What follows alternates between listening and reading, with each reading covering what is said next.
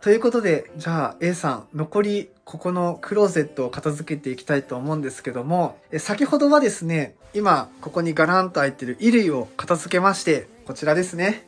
今すごい状態になってますけど、ここのちょっと3袋を手放して、で、他のものを残すんですけども、まあ先にちょっとね、クローゼットをきれいにしようかなと思います。で、じゃあ今現状、ちょっとどんな状態なのかとか、まあどういうものがあるのかっていうのをちょっと把握したくて、はいじゃあ上の方からちょっと簡単に説明していただけますか？はい、これがもう紙袋がはい。溜まっちゃったそうですね、もう山のように。はい。でこれがはいなんか箱類、と iPhone の箱とああ、かなるほど。時計の箱とかが、はいはいはい。はい。で、お隣。でこれが照明の空箱で、はい。パソコンの空箱、はい。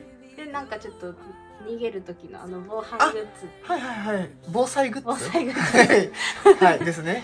で、でここまあヒトテックだけで、うん。でこれがはい。テレビ見ながらああ、なるほど。トレーニンググッズ的なやつです100ね。均で買ったやつですはい。あこれはタイツとかおストッキングはい。でその下は、まだあったはい。これヨガに前行っててああ、なるこほど。の時のセットが丸ごと入ってますねこれは、えっ、と、そのヨガウェアみたいな？あウェアとはい。マットの布のやつとっうんうんうん。て感じですなるほど。はいはい。まあ、そのあたりもちょっと見直していきますか。はいではいパソコン。パソコンです使っね。てないあえ学生時代の時のパソコン今は別にあるんですか、あパソコン。りますああ、なるほど。もうもうすごい古いんうでん。捨てるそうです捨てるね。のに困ってここにああ。はで、いじゃあ続いて、ここら辺なんかはい。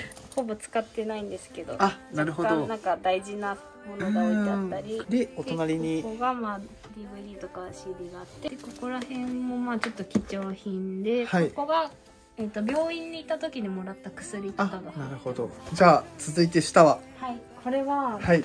前書道教室に通ってて、うん。その時のままおお、なるほどうん。習い事のやつですね。ここがはいカバン、おお。転職活動してた時とかああ、なるほど。とかあと結婚式とかうん。で、あとは？でこっちも封筒とかまあそんな感じ、ね、もう入らないですもんね、封筒が。入んないはい。で、あとまたちょっとカバンがあってみたいな。カバンがあってはい。これはなんか、うんなんか袋が袋に入ってるみたいなもうほぼここはカバン、ああ、そういうことですねカバ。ンですもうカバンがすごいたくさんありそうですね。そうですねはい。でで、また紙袋があっでて、でまああとはタオルとかはい。あとは下着類とか、はい。でここにまあポイントカードとかが入ってるっていうことですね。まあ、この辺もね、ちょっと多そうですもんね。うんはい。っていう感じで、あとお隣は、これはまあ毛布代わりで使ってたやつとポンチョこれはメリキュットまたカバンが出てきたこおー、そんな奥から。れはそうだメルカリに出そうと思ってはい。まあ、出してはないってことですはいね。出そうと思ってしまってましたっなるほど。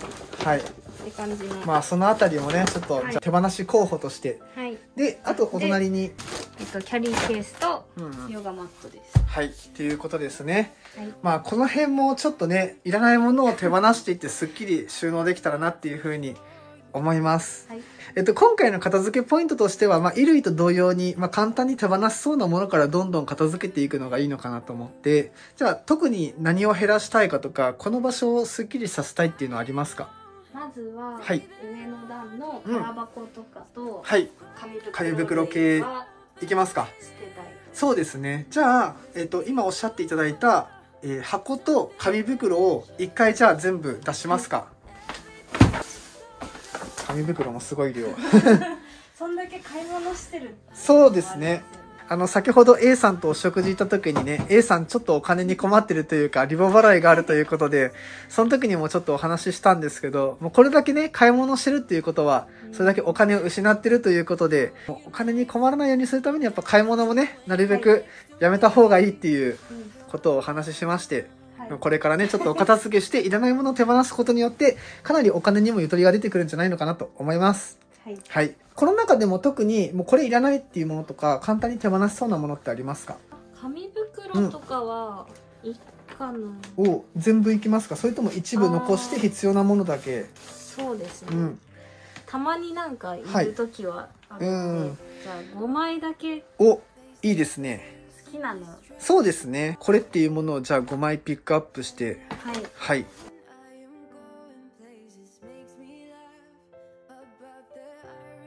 はいということで、じゃあ 5枚だけ残して、はいもうこれ残り全部処分しても大丈夫ですか？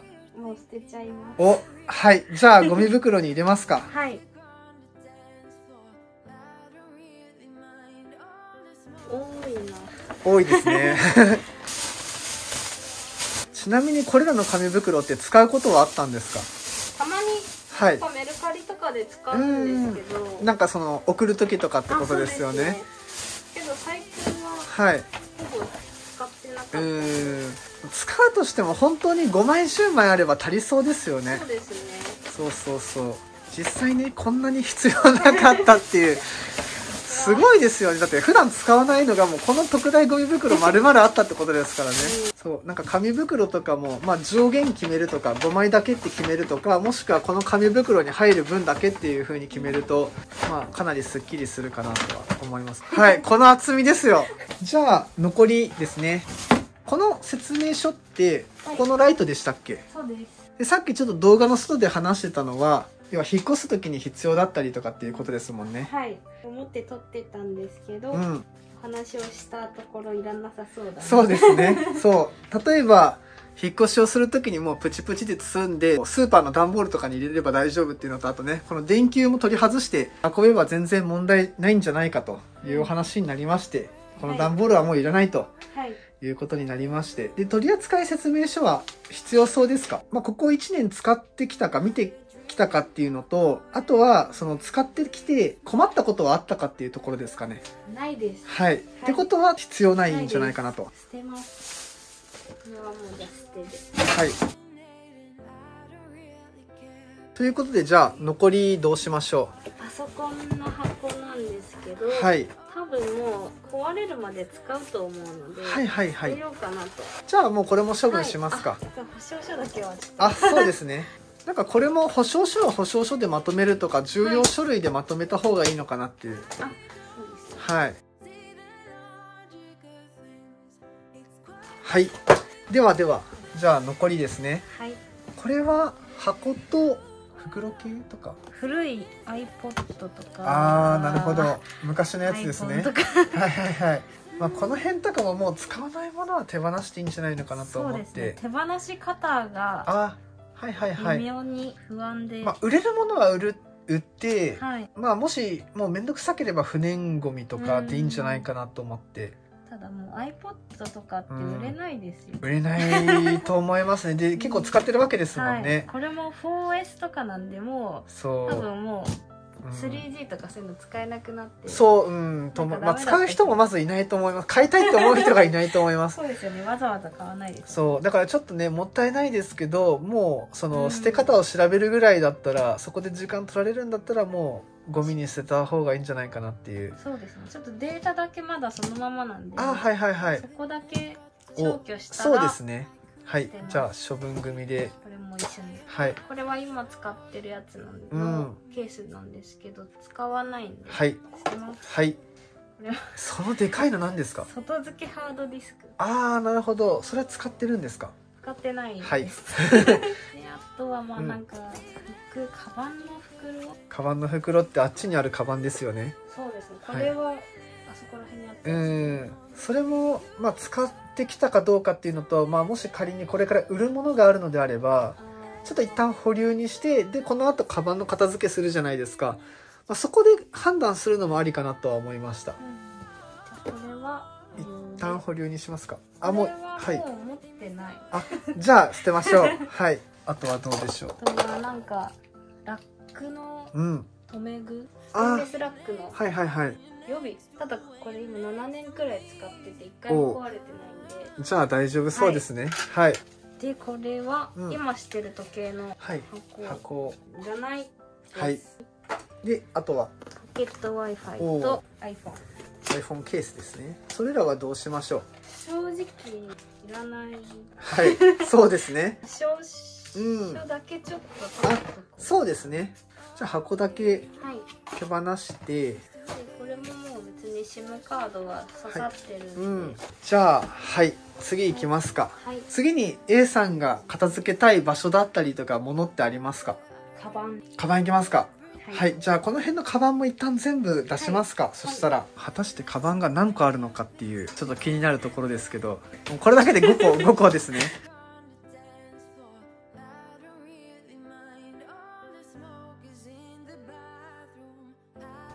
20忘れてた。はい。そう結局ね奥の方にあるのって忘れるんですよね。いやーすごい量だ。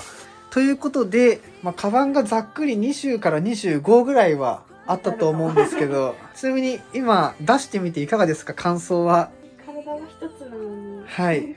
こんなに持ってどうするんだろう確かににそうですね。まあこの辺もちょっとね使ってないものだったりもういらなさそうなものを優先的に手放していくのがいいかなと思って。はい。はい。じゃあ仕分けしていきますか。はい。はい。じゃあまず A さんがもうこれだけは絶対にいらないっていうものから優先的に。はい。このはい。結婚式の。はい。このふくさはいはいはい。取っとこうかな。はい。はいでこれを今結婚式に持ってって。ああなるほど。あじゃあそこに入れてってもいいかもしれないですね、今のパソコンはサイズが違う。ってことはじゃあ今は必要ないってことですね、はい、うん。もうこれは絶対いらないやっていうものから減らしてって選択肢を狭めて。はい。デザインがちょっと。あじゃあ手放しましょう。はい。これ忘れてたんではいそうですね。存在忘れてたものはもうなくても困らないと思います。はい。ここら辺がフォロはいートートバッグ。ああなるほど。トートバッグとかもまあ そんなに必要ないですよね。はい。ちなみにトートバッグの使い道というかあるんですか？なんかどういう時に持っていくとか？買い物とか？買い物とはい。あと気分によっては会社にうん。持っていくしはい。荷物が多い時とか実家に帰る時とか。ああなるほどってことはまあ最大3種類。ね。はい。だからまあトートバッグの中でも特にこれを使いたいっていうのがあればかもしくはカバンとかで代用できたらそれでもいいかもしれないですし。そうですねこれとこれなんてほぼ同じ大きさうんそうそうそう。ってなった時に同じ用途のものっていうのは基本的に何個もなくてもいいんですよね。そう結局これだけカバンがあると何使おうって迷いません？迷いますねこの中ではい。もうこれはいらないのっていうのはもうないですか？簡単に手放しそうなやつは。はい。で例えば僕気になったのはその習字道具昔習われてたってことじゃないですか、これ今から習うことはありそうなんですか？しばらくない。しばらくなあじゃあ今後例えば1年後とか数年後にはあるかもしれない、なんかおばあちゃんになったら。とかあなんか今はちょっと、はいはいは書道教室とか行くの早すぎたかあなああなるほど。そういうとことですね。ってことはじゃあ例えばその習字をやるってなった時に買うことはできますか？できます。はい。なんかそこまで思い入れのものではない。あもう本当に数ヶ月の。はい、ってことですね。で、はい。今ね、おばあちゃんになってからっていうふうに言ってたから、うんじゃあその時に買えばいいんじゃないのかなと思って、いかがでしょそうですね。さようなら。うはい。あと残ったものですね。はい。今、トートバッグは何個あるんですかね？34567 ?7 個ですね。はい。じゃあの、7個で、まあ、もちろん全部は手放さなくてもいいんですけど、例えば、まあ、順位付けするとして、で、まあ、いくつ残すって決めてもいいし、もう、下位のもの、7位、6位、5位とか手放すとかでもいいですし、かあと使用頻度で決めるのも手ですね。これが一番使っうん。ていますはい。じゃあ選択肢から取り除きますか。はい。これも仕事ではいうん。で、1位、2位が決まりましたと。正直うん。手出しやすくて買っちゃったと思うんでもはいし本当に欲しければまた買えるの方がいいと思います。のでこれは手放しますまた薄いタイプのこういう薄いトートバッグって多分うん使いにくい、確かに。あの、もう使いにくいものは絶対手放した方がいいです。だって使ったらストレスになるわけですもんね、それが。使いにくいってことは。そう、心地いいもので絶対まとめた方がいいから、使いにくいとか、そういうのはちょっと手放した方が生活はより豊かになるんじゃないかなと思います。こっちはうんさよなこっちは残しますか？らでちょっとあ、全然いいですよ。はいはい。もうちょっと使ってみますそうですね。使ってみて感じるものがあると思うので。正直転職活動の時しか使あわないあ、なるほど。今後転職する予定とかは？いつかはする。なるほど。最近もちょっと実は考えてあるんで、そういうことですね。ただまあすぐはい。1ヶ月以内かって言われると、うん。まあわかんないけどまあでもはい。なくはないんで、うん。まあその時に使うかどうかっていうところですよね。そうですね。使うと思う。はい。じゃあ残しますか。はいはい。使ってはいるんですか？いやあ 使ってはない。えなんか迷う理由というか引っかかるのがあるんですかねなんか。ーなんか色とか結構好きで買ったんですよね。ただ出番が。ああなるほど。気に入ってはいるけど出番が少ないってことですか？そうですね。大きいの買いすぎちゃったっていうん。例えば今残したカバンで大きいのがあるじゃないですか。はい。で例えば今までも何個か大きいの手放しましたもんね。はい。ってことはちょっとは出番増えてきたりとかはするのかなと思いましたけど今後使いそうですか？ね。これとか捨てたからもしかしたら来るかもしんないですもんね。そうね。だから一旦保留でもいいのかなっていう。そう結局あのお気に入りのものがあっても数が多すぎるとお気に入りのものがどんどんそのガラクタに生まれ埋もれていってだからそれを使うね頻度が少なくなっちゃうから数一回減らしてみるとねいいかもしんない。これは普通に使ってたんで。おじゃあ残しますか。残します。ということでじゃあ続いてこの子たちですね。これとこれが一番使っはいて、これははい。本当にお店のお姉さんにうまくお誘導されてしまったって、ああなるほど。自分としては好みとか使い心地だったりとか利便性はどうなんですか？好みなんですけど、はい。結局うん。多分こっちとかの方が使いやすくてああなるほど。買ってから一回も使ってない。あじゃあ手放した方がいいですね。使ってないのであれば必要ないのかなと思いますは春に使います。はい。これ結構前からね。おおはい。ただペットボトルとかが入んないんですよ。入んないですね。後から買ったこういうマチがあるやつの方が優先度が高くて。はいはいはい。使ってない。はい。です。じゃあ手放しましょう。はい。はい。はい。すごい山ですね。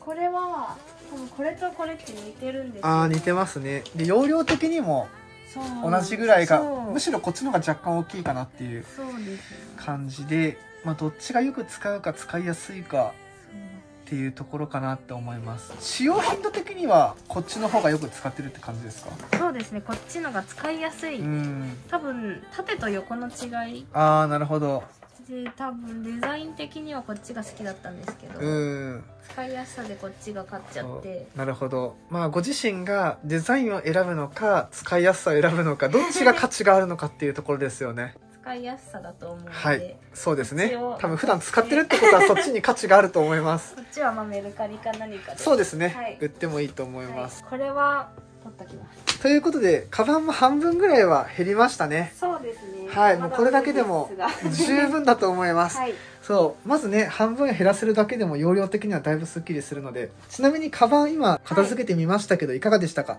服と同じでうん。似たものが多すぎるっていうのと、はいはいはい。あとやっぱ使ってるやつって使いやすいやつなんで、うやっんぱり好きなやつが使いやすさに負けるとあ結局埋もれちゃって、ー確かに確かに。使う頻度下がってかうん。わいそうなことに確かにそうですね。そうまあなんかそういうのもね手放して今回良かったんじゃないかなと思います、はい。ということでじゃあ次に行きますか。はい。はい。袋ですかね。圧縮袋。こああはいはいはい。旅行用とかで使うようなやつとか？れは布団？あ布団なんですね。どんだけ布団持ってるんだっていうぐらい。あそれはあれですね。ダウンコートをああこれ絶対使わないですね。使わないですね。はい。はいもう手放しましょう。はい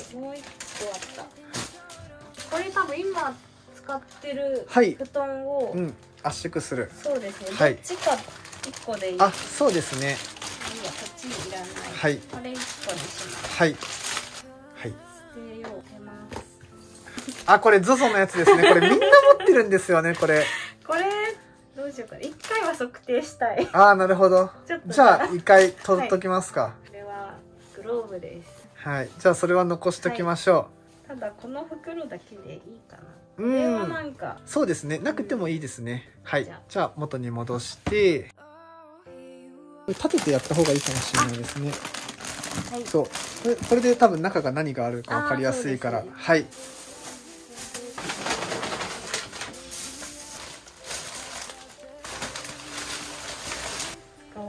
じゃあまあ手放しますかもうこれも、はい、はい。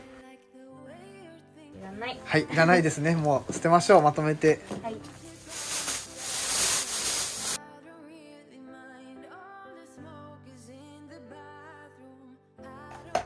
ファイル。はい。使わなさそうなファイルが。そうですね。はい。なんか結構いい値段したファイルでいつか使おうかなと思ってたら。結局ねファイルとかも意外に使わないんですよね。僕もそうでしたけど。時代的に紙ってあんまないですもんね、ないですね。っていうぐらいだから、まあ、正直こんなには必要ないかなとは思いますけどね。下敷き。でノート。ちょっとちゃんと管理しようって思った時にはい。メイクでなんか買ったやつのパッケージを貼ってお途中で。途中でってかもう1回で終わりました、はいそう結構ねやっぱそういう面倒くさいものとかもね結局やらなくなっちゃったりとかしますよね。これも途中でやめてる家計管理的にああなるほど。まあ今の時代ねもうアプリでできちゃうから紙で管理しなくていいかなとは思います。何が必要かなって言われるとうん。封筒は。例えばここ最近で使った封筒はありますか？ここら辺がメルカリであはいはいはい。なんか定型で送るときうんにうん。使ったんですよね、うんうんうん。ただはい。2個いらないな、そうですね。1個でもいいかもしれない。茶色を残してはい。緑ははい捨てます、これは前退職した時にはい。間違えて買っちゃった、あらま。の退職届を出すような。こああはいはいはい。れは完全に間違えた。いらないですね。はい。下敷き。下敷き。使ってはいるんですか、使ってないですね、はいうん。まあ、思い出のものはまあ後回しでもいいかもしれないですけどね。さっきのグローブのところに入れたりとか思い出のもので。あーちょっと2つ。はい残しますか？はい。い。らない、はい。捨てましょう。はい。でファイルですね。使うかどうか。要はプリントアウトして挟むかどうかってところですよねそれは。そうですよね。プリントアウトしないはい、いらないです、いらないですね。ちょっともったいないけど。そうですね。さそう今回を教訓にね もう買わないと決めるのも一つ大事かなと、時代も変わったし。そうそうそう。時代の変化とともにね持つものも変わるから。汚れちゃってるからそうですね。もし必要だったらいいのをねまた買えばいいのかなっていう。ノート。他にも実は多分あるんで、そうですね。必要ないかもしんない。はい。読みますかそれ。しまってありましたもんね、うん。はい。捨てますか。はい、はい。買わないかなませんっていうはい。こんなのがいっぱいはうーん。ねもったいないですけどね。もったいない。どうしようかな。今使ってるノートはあるんですよね。あります。はい。でそれもしばらく使ってない。最近これは使ってないです、うーん。捨てよはい。捨てましょう。はい。もう一ケースいらなくなりますね。はい。CD 系う星野源さんははい。ちょっと売ります。はい。捨てちゃいます、はい。聞くことはありそうなんですか？今は聞いてないですね。はい。で今後は聞きそうですか？多分今 Apple Music で。あは聞ける。い。じゃあいらないですね。間違いなく。はい。はい。一回も見てないはい。そうですね。はい。一回も見てないのはいらないかなと。あてかベルトがあね。はい。ベルトいきますか？この中で使わないものとかはありますか？ほぼ使ってない。まあ手放せるのも手放したらいいのかなとは思いますけどね。そうですね。使ってないズボンははい。いらなくなったので。あと例えばこのパソコンだったりとかこの辺は？でパソコンも捨てたい。はい。出しますか一回、はい。あとこの辺の袋の中は？えー、とこれがタイツとはい。ストッキング。はい。あなんかいっぱい入ってるはい。すごい量ですけど。こんなにいるかなって。思っ一回全部出してみますかそしてたら、はいれだけ黒いやつなんで、これははい。残しますか。これだけ残しはい。あとは売ります。はい。これなんか色が濃い気がはい。全部いいや。はい。ということでだいぶすっきりしましたね。はい。だけあれば、うん。足りると思いうん。ます、ということでじゃあ次行きますか。はいポイントカードが、そうですねまずポイントカードだけピックアップしていただいて、まあ、ポイントカードもおすすめとしてはよく使うお店だけのだけ残すのがいいかなっていうあんまりもうなんか数ヶ月に1回行くようなお店って正直ポイントってあんまたまらないしそう、割引とか、なんかポイントセールとか、なんかそういうので惑わされていっちゃうとお金が逆になくなっちゃうから、そういうのも手放した方がいいのかなとは思いますね。いや、いっぱいありますね。はい。すごいですよ。これ横幅が、はい、こんな感じですね。はいはい。で、この中からもう普段使うお店のだけはい残していくのがいいかなと。あこれ使うなあーあー3日目3日目最近行ってないはい。まあ、半年1年いてなければ、まあ、もういいかなっていうところですよね。つ